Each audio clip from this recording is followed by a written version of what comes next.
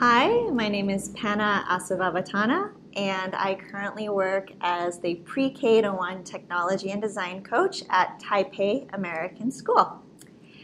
Before this, I worked in early childhood classrooms, so early childhood really is my life. I love working with young children, and I love the developmental stage as well.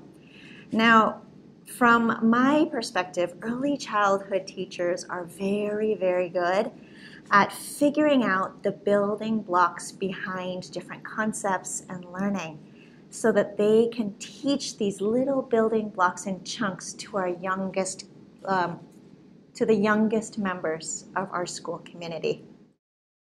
So when I shifted from being an early childhood classroom teacher to being a technology and design coach, I had lots of ideas.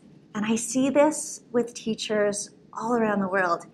They get new technology, they get really excited about, oh, I can use the iPad to make videos, I can get my kids to draw, they can record their voices, and we get really tied up in the product of what our students could possibly create.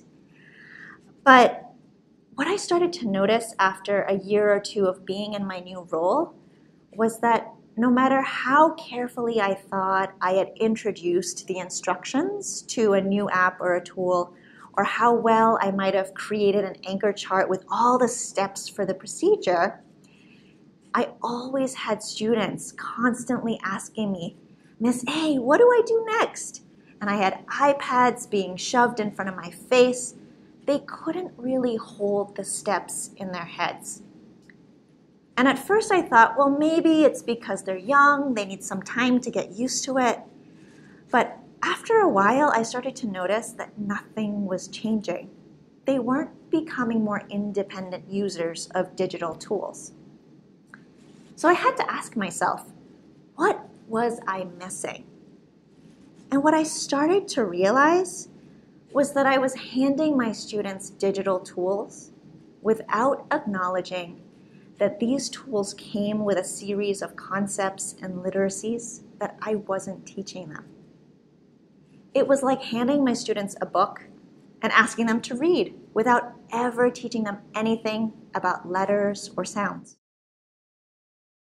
You see, our job as educators is to put handles on learning to make learning easy for them to grab onto and take with them from one scenario to the next.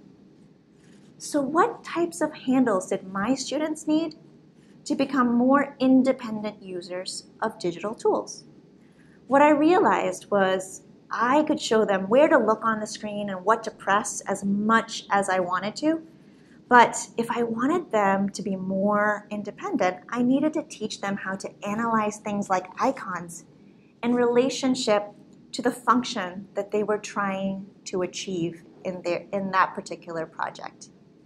It's processes like trying to troubleshoot when you tap on something and it's not exactly what you wanted to do, or understanding what to do if your device freezes up on you.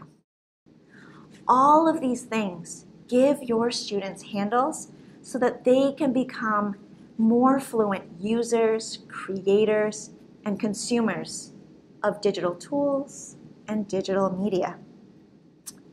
So the next time you actually see your students looking at a new tool or playing with a new app, ask yourself if there's a way that you can provide your students a strategy so that they can become deeper thinkers and focus in on the learning just a little bit more.